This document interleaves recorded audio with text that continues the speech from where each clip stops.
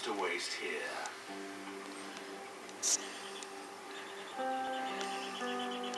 In times of drought, food is hard to come by for all those in Luangwa. But one canny bird has found a way around the problem.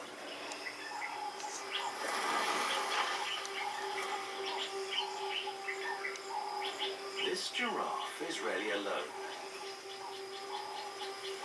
Everywhere he goes, he's accompanied by a small crew of red-billed oxpeckers. They're assiduously removing disease-carrying ticks hiding in the giraffe's fur.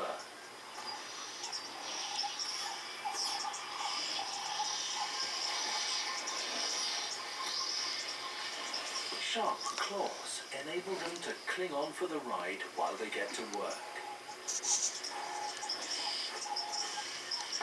Reaching parts most other birds simply couldn't or wouldn't want to reach. Once again, nothing goes to waste.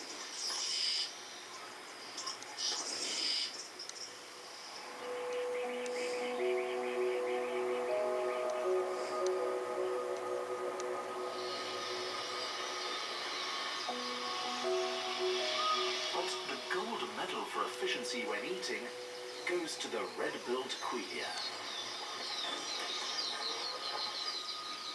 These tiny birds, each weighing just 20 grams, are here year-round, but gather together in the dry season in flocks that can be thousands or even millions strong.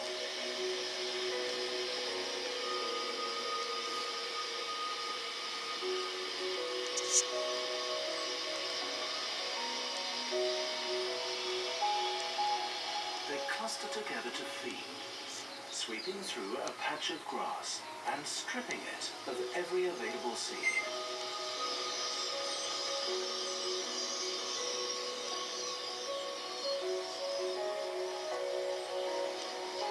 Once the ground is cleared, birds at the back leapfrog to the front and start on the next plot to be cleared.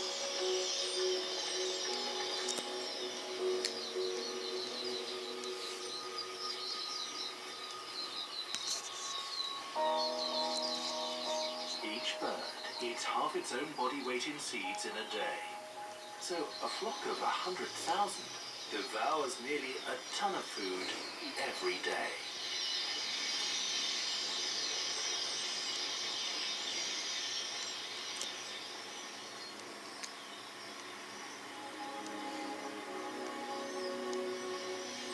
As the sun gets low, Quelea congregate at the river for the last drink of the day.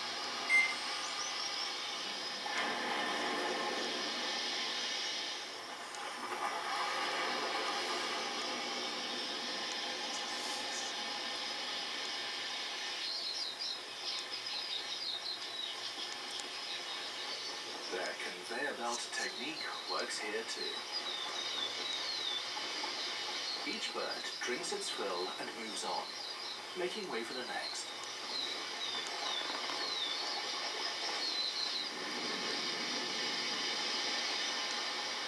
In flight, they must constantly make quick calculations to avoid crashing into their neighbors.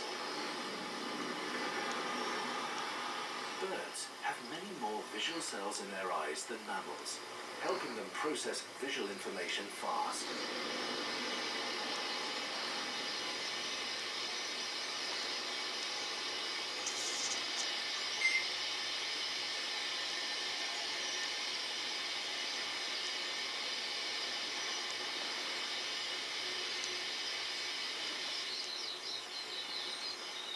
As the light fades from the sky, the quelea settle to roost.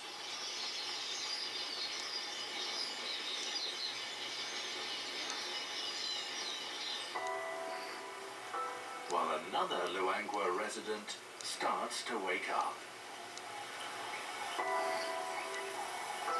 This giant eagle owl has spent most of the day sleeping. It's the largest of Africa's owls, a solitary hunter, with wicked talons perfectly adapted to grabbing prey. Distinctive pink eyelids lend a lazy look that belies excellent binocular vision. And it's at night that this powerful eyesight really comes into its own.